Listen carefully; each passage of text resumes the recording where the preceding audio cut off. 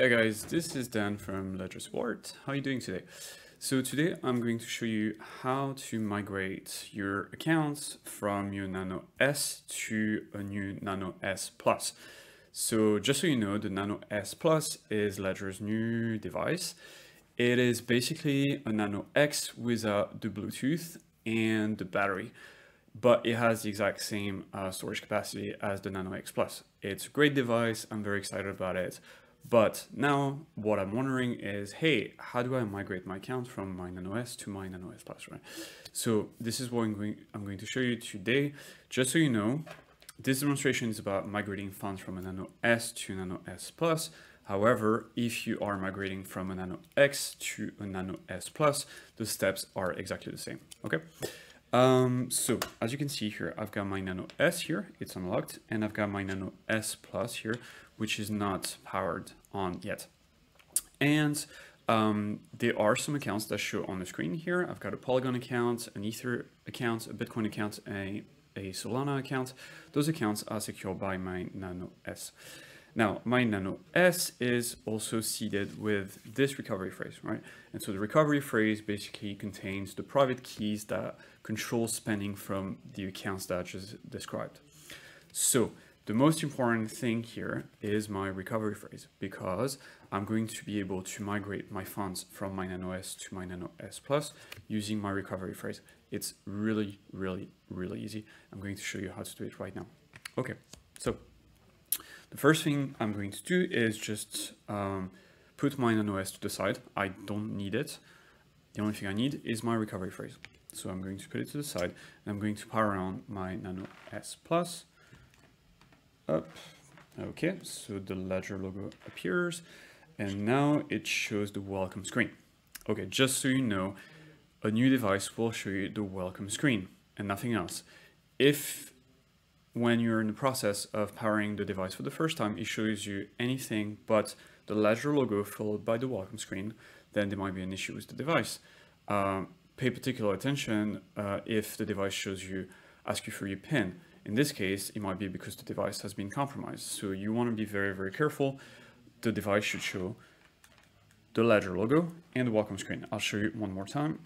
Just up. So Ledger logo, welcome screen. This is what a new device looks like. So I know it's safe to use. Cool, so I'm going to scroll through those menus here. Um, okay, start Ledger Live. So I've got Ledger Live installed already. So set up as a new device. I don't want that, okay, because if I click this, this will create a new recovery phrase, which I don't need. I already have a recovery phrase what I want is to put this recovery phrase into my Nano S Plus device, okay? So I'm going to select instead restore from recovery phrase. Okay, now I'm going to choose a pin with four to six digits. So in my case, I'm gonna uh, choose a four digit pin, but for you guys at home, I suggest a eight digit pin. It's just more secure. So because I want easy access to my device, so a four digit pin is okay for me. Then I'm going to confirm the pin. Up. Here we go. And boom. Okay, now it says enter your recovery phrase. Okay, so I'm going to click this. Select the number of words written on your recovery sheet. So there are 24 words on my recovery sheet. So this is what I'm going to select 24 words. Okay, and here I need to enter the first word. So let me see, the first word is December. Okay, D, E, C. So here it's gonna prompt me with a few options. Uh, so yeah, I want December. And then the number two is Thunder.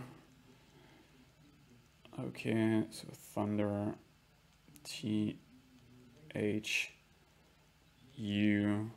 So now I've got a few options, thumb, thunder. Okay, so I want thunder. If, for example, you make a mistake here, you can always clear the word and come back. It's fine. You'll just have to repeat the word.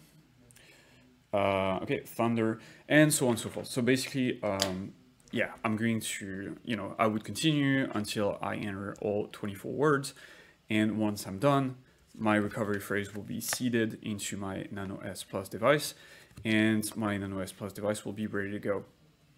Now, what happens if you get a error? Okay, if one of the words doesn't, uh, like the, the Ledger, uh, the Ledger Nano S device doesn't accept one of your words. Well, it might be because the word is not correctly spelled.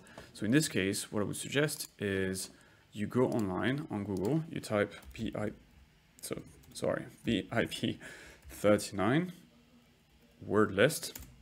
Okay. Now you'll have to look at the GitHub. So what you're looking for is the GitHub list here. And boom, here you go. Here's the list of all the different words that can ever compose a recovery phrase.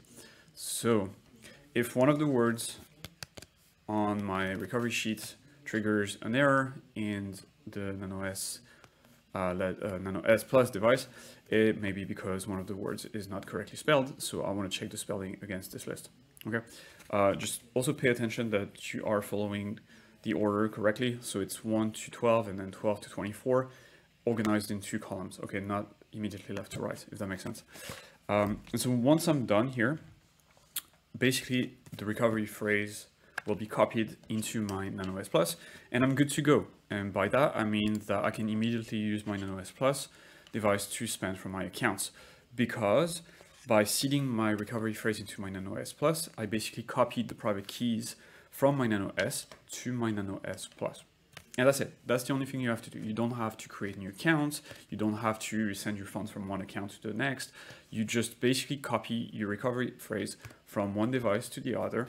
That copies the private keys, that clone the private keys from your Nano S to your Nano S Plus. And that's basically it. That's the only thing you have to do, really. Um, what about your Nano S Plus now? Okay, so you have the option to reset the device, which will wipe the recovery phrase from the device and just return it to factory settings. That's an option you can have. So you would do, you would go into settings, security, and then reset device. Okay, and then it will ask you to confirm with your uh, pin later, okay, reset the device. Personally, I'm not going to do this because I want to keep my Nano S as a backup to my Nano S Plus. So if anything happens to my Nano S Plus, I want to be able to access my Nano S and this way I'll be able to access my account. So I think it's a good way to um, yeah, use an old uh, Ledger device just as a backup, just in case, okay? But it's only a good backup if the pin on this device is also very strong, okay? If it's, uh, if it's an easy to guess pin, then having a backup can actually be a liability and a risk. So my opinion, make sure you've got eight digits uh, pin codes on both devices, keep the old one as a backup just in case the Nano S Plus would, you know, get lost or um, whatever, something happens to it. Um, and now you've got two devices that can span from your accounts instead of just one. So it's good. Um, it's a good idea to have a backup device in general. And that's pretty much it, guys. So I hope this was useful. And if you have any questions, you can reach out to us via the Help Center page on our website, or you can reach out to us on Twitter directly, and we are at ledger underscore support uh, on Twitter. So guys, that was a pleasure. Thank you very much. If you have any questions, please don't hesitate and have a good day. Cheers.